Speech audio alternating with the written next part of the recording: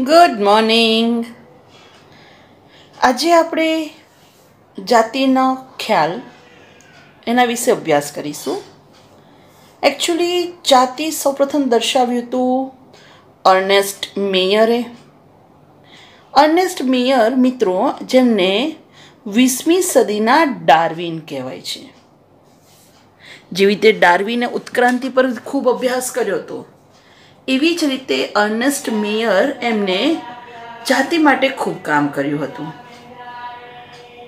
જાતિ શબ્દ આપ્યો જોહોન રે. જાતિ માટે વાત કરીએ તો મિત્રો વર્ગીકરણનો એ સામાન્ય એકમ છે. એવું કહી શકાય કે નાનામાં નાની વર્ગીકરણની કક્ષા એટલે જાતિ. તો આ ખાસ યાદ રાખજો. કે નાનામાં નાની વર્ગીકરણની કક્ષા કઈ છે? જાતિ.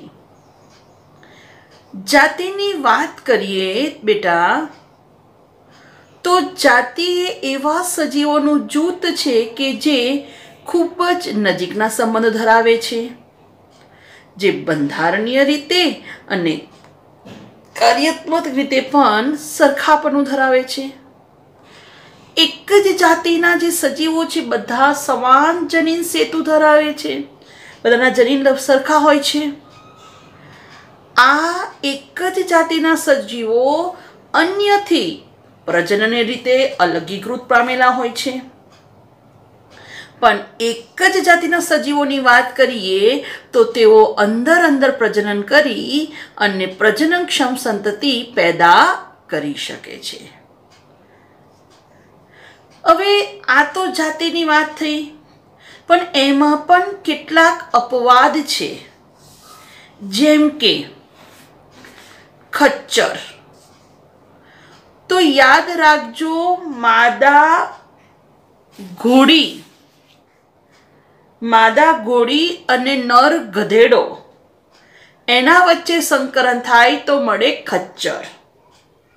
અને હાઈની જે માદા, ગધેડી અને નર ઘોડા વચ્ચે સંકરણ કરીએ તો હાઈની મળે.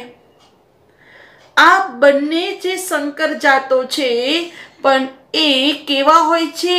એમના વચ્ચે આ જે ખચ્ચર અને હાઈની છે, એ સંતતિ વંદ્ય છે. એકચ્યુઅલી વાત કરીએ બેટા, તો ઘોડામાં કુલ ચોસઠ રંગસૂત્રો હોય અને ગધેડામાં બાસઠ રંગસૂત્રો હોય. આ તો આ થઈ ટુ એનની સંખ્યા ટુ એન ચોસઠ અને અહીંયા ટુ એન બાસઠ. હવે જ્યારે આમાંથી જન્યુ બને, તો અહીંયા જન્યુઓ થશે બત્રીસ, અહીંયા જન્યુ થશે એકત્રીસ. બેના વચ્ચે સંકરણ કરીશું તો યુગ્મન જેમાં થશે ત્રેસઠ રંગસૂત્રો. તો જુઓ, આ કેવા છે? અયુગ્મિત. અહીંયા યુગ્મ નથી. જેમ કે બત્રીસ એકત્રીસ, તો ત્રેસઠ મળ્યા. તો જો ચોસઠ હોત અથવા બાસઠ હોત, તો એ જોડ થાત, યુગ્મ થાત. પણ અહીંયા અયુગ્મિત રંગસૂત્રો જોવા મળે છે, એટલા માટે આ જે ખચ્ચર કે હિન્ની જે પણ હશે, એ કેવા હશે? વંદ્ય હશે. એવી જ રીતે બીજું એક ઉદાહરણ જોઈશું.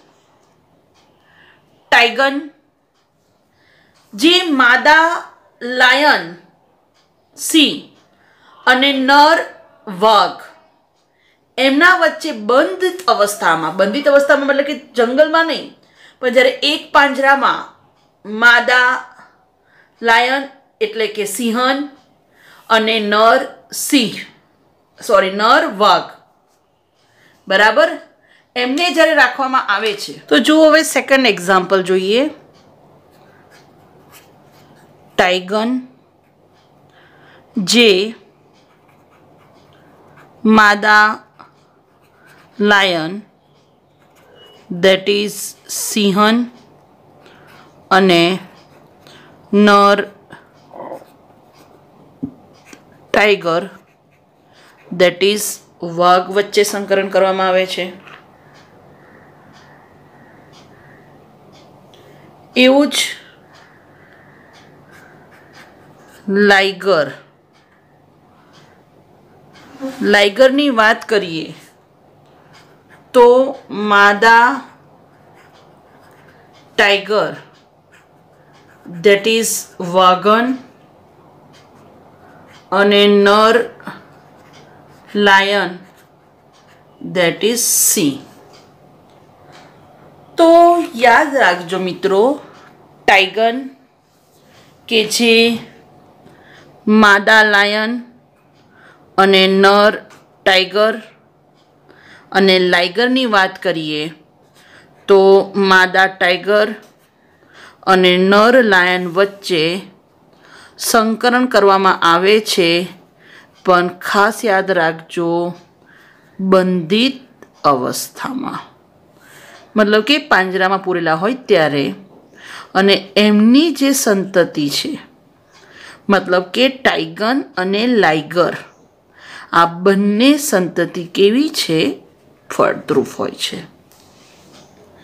ચલો એમનું જનીનિક રીતે જોઈ લઈએ. તો એકચ્યુઅલી મિત્રો, વાઘની વાત કરીએ. તો એનામાં ટુ એન મતલબ કે આડત્રીસ રંગસૂત્રો હોય છે. અને સિંહની વાત કરીએ, લાયન. એનામાં પણ આડત્રીસ રંગસૂત્રો ટુ એન હોય છે. હવે, જ્યારે એમાં અર્ધીકરણ થાય છે, એટલે અર્ધીકરણ થાય તો જે જન્યુ મળે છે, અહીંયા ઓગણીસ, અહીંયા પણ ઓગણીસ. અને આ બે જન્યુ જ્યારે જોડાય છે, તો જે યુગ્મન જ છે, એમાં આડત્રીસ રંગસૂત્રો મતલબ કે યુગ્મ જોડ બને છે અને એટલા માટે જે પણ સંતતિ ટાઈગન કે લાઇગર જે પણ છે એ સંતતિ કેવી હોય છે? ફળદ્રુપ હોય છે.